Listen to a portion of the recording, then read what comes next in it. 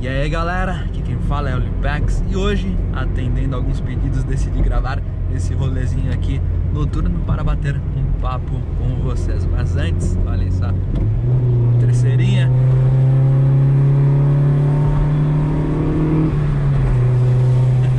Bom, né?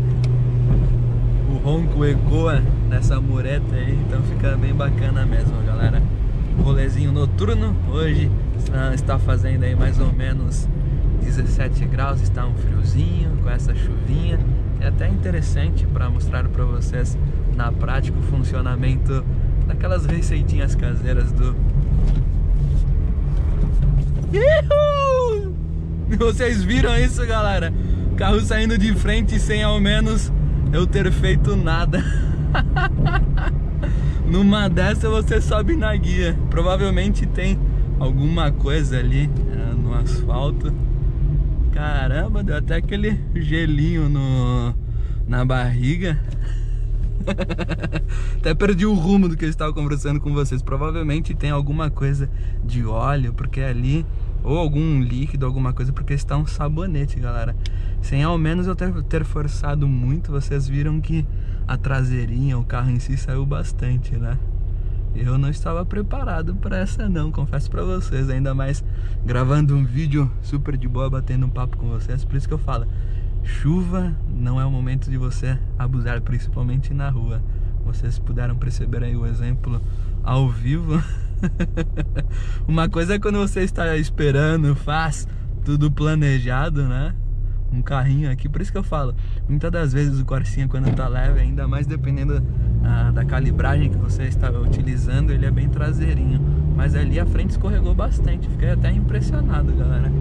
Então, continuando, aqui dá pra até mostrar para vocês na prática o funcionamento da receitinha caseira do anti-embaçante que eu utilizo, que é o famoso detergente, até tem a receitinha aí pronta que você consegue adquirir o produto, mas essa caseira é simples e prática e é até bom porque você deixa um frasco aqui de detergente no porta-luvas e utiliza. Aqui estou com todos os vidros fechados, conversando com vocês e nessa situação, sem o anti-embaçante, muito provavelmente o para-brisa já estaria até certo ponto embaçado, galera. Então, é aquilo que eu sempre comento com vocês, utilizem, testem, porque vale muito a pena. Detergente, creio que todos tenham em casa, né? Então isso facilita demais. E se vocês tiverem dúvida, ainda façam um teste na hora do banho aí. Se tiver um espelhinho dentro do banheiro com um mormaço, muito provavelmente ele irá ficar todo embaçado. Então, né, pegue um perímetro ali do espelho, passe um pouquinho de detergente, claro, antes do banho, antes dele estar um pouco úmido, passe e vocês verão o resultado com os próprios olhos. É claro que é sempre bom fazer a manutenção, entre aspas, né? Passar uh, essa solução de tempo em tempo, porque não é eterno, né? Muita gente passa e acha que vai ficar aí durante 20 meses sem precisar colocar novamente, galera. Certo? Então, uma outra coisa que muita gente me pergunta também em uma situação como essa, sobre o funcionamento dos faróis, o perímetro que ele consegue iluminar. Galera, eu já gravei um vídeo específico sobre isso na estrada. É aquilo, o farolzinho do Corsa, por não ser é, um carro moderno e tudo mais, ele não é um dos melhores, mas cumpre bem o seu papel. Aqui, como vocês podem ver, eu tenho isso filme em todo o carro, inclusive no para-brisa, então por esse motivo, além da GoPro fazer correção aí, não ter uma boa iluminação agora para captação da imagem, vocês provavelmente não conseguirão perceber muito mas aqui dentro da cidade você consegue andar numa boa, ainda mais eu que sou bem acostumado e sempre andei com um filme no para-brisa na grande maioria dos carros, então com o tempo você acaba se adaptando. Eu, por exemplo, tenho alguns familiares que sequer podem ver esse daqui no para-brisa que não conseguem enxergar exatamente nada. Então, se você é uma pessoa que tem uma certa dificuldade, eu uso óculos também, mas confesso para vocês que eu já me acostumei. Eu não recomendo que faça a instalação do filme, é, da película no, no vidro dianteiro.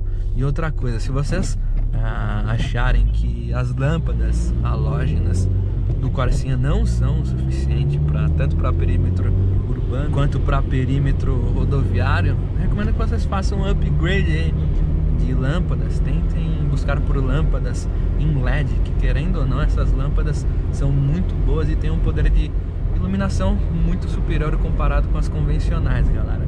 É, dependerá muito do seu gosto também. Se você gosta de um LED mais branquinho, de um LED mais voltado pro amarelo ou mais voltado pro azulzinho, no mercado aí hoje em dia tem diversas opções é, de qualidades e também de preços.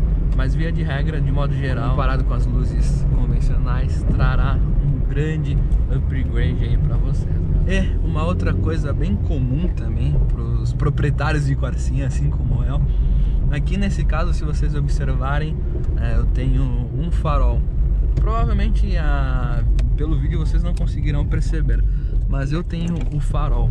Um é em acrílico e o outro é em vidro. O poder de iluminação do vidro, na minha opinião, é superior. Então, se o seu carro tiver um farolzinho de acrílico, tenta fazer um upgrade aí pelo vidro. É claro que em mercado assim paralelo é difícil muitas das vezes de encontrar. Eu, por exemplo, em uma época fui atrás da lente de vidro não encontrei por conta de legislação, blá, blá, acabei comprando de acrílico. Porém, na última vez que eu comprei, não tinha de acrílico e só de vidro. Então, vai entender, né, galera? Outra coisa que é bem legal para se fazer. Se, claro, se vocês tiverem interesse, tem a opção de fazer uma adaptação dos faróis de neblina nesse próprio para-choque. Você faz um furo e compra como se fosse um apliquezinho para conectar, encaixar a lentezinha do neblina ou também, se você preferir, pode buscar pelo para-choque do Corsa GSI ou do Corsa GLS, que já tem o um encaixe perfeito ali, galera. Então, é bem bacana mesmo.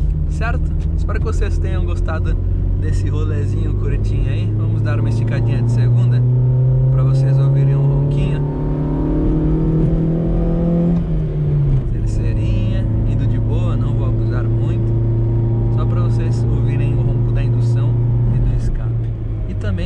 observarem como esse carro, por mais que ele seja 1.0, quando ele está levinho assim, tem um bom fôlego, é bem valente, galera. Outra coisa também que provavelmente vocês não perceberão por conta da correção de cores e da lente mesmo da GoPro, é que aqui o painelzinho tem uma iluminação um pouco mais fraca, mas é claro que na GoPro parece que é mais fraca ainda do que aqui ao vivo, galera. Muita gente me pergunta por que eu não coloco LED. Eu, como sempre comento, eu particularmente curto muito esse aspecto de carro antiguinho, com acessório de época, com estilão de época. É claro que eu não levo isso a risco, eu não coloco todos os acessórios de época, até porque esse volante é um pouco mais novo, a manoplinha aqui, mas eu tento deixar ali na casa dos anos 2000 porque eu curto bastante. Inclusive, eu tenho que fazer a abertura aqui para trocar essa lâmpada aqui do painel central porque a última queimou ah, inclusive, para quem tiver interesse, eu tenho um vídeo aí do passo a passo no canal, vou deixar o link na descrição. Uma outra coisa que eu quero fazer para evitar isso daqui, porque no Corsa 95, 96, 97, 98, 99, só de bater a chave, essas luzes já ligam. Então, por elas permanecerem essa quantidade toda de tempo ligada, ela tende a queimar com uma certa frequência. Então existem algumas possibilidades de fazer essa correção, é, ganhar mais um tempo de vida útil aí, deixando para ligar somente quando o farol estiver aceso. Então ele acompanha a chave seletora aqui do farol, certo? É isso aí, galera. Espero que vocês tenham curtido esse bate-papo rápido aí. Para quem não é inscrito no canal, se inscreva. Para quem não me segue no Instagram, siga lá, arroba do I é o número 1 um, e até o próximo vídeo. Valeu e falou. Fui!